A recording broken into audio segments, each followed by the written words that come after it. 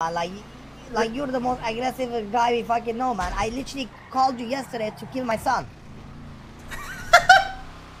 Thanks for calling me, asshole. What the fuck? But you wasn't around, man, and I needed uh, actually uh, somebody that would. I told you I shit would set an alarm, but you said don't worry about it. I didn't realize it was that. I would have set an alarm. But Yeah, I to could be have fair, just cashed Speedy, the, you know. Speedy, you- you you literally- Speedy, you literally told me, you were like, no, no, nothing big. Don't worry about setting an alarm, Puto. And then you tell me today you were you wanted me to k- kill your son, and you What act like that's the not a fuck big thing. this? See, is he's dead? I think he's dead. No, no, he's just waiting for a car. Right? What the fuck But okay, is it's, Speedy? it's a big thing, Denzel, but not a really big thing. Because technically, he's not my blood son. Oh, just a loser son. Yeah, he's a bastard.